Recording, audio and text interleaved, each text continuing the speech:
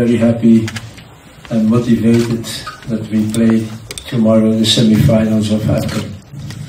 Um, I think for many people it was unexpected, but we did it, and that means that uh, South Africa became a good team. So um, it's also more than 20 years ago that South Africa played the semi-final, even more that we played the final. So that means that we got a lot of motivation. The semi-final we have it already, but that we want to play also next uh, Sunday the final.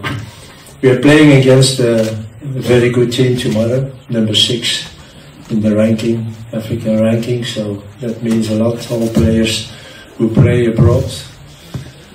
Um, it's a little bit the same situation than a few weeks ago against Morocco. They're also a very good team, players who are playing in Europe with big teams. So um, we can't compare it, and uh, I think for many people, um, Nigeria tomorrow will be the favorite to win that game. But as you know, in football, it's not always the favorite to win. And we are confident and motivated uh, to try to try that that doesn't happen and that South Africa is again after more than 20 years in the final.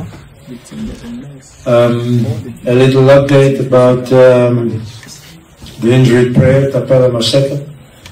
So he has a muscle injury, grade 3, so uh, the tournament for him is finished. But he stays with us, so he doesn't go to South Africa. And we don't replace him.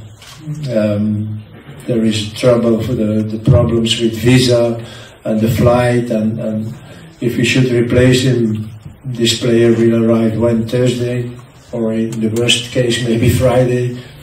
So uh, we don't want to do that and even we have opportunities um, to solve that problem in the group. So uh, for that, um, Thapelo will not be replaced, but the tournament for him is finished.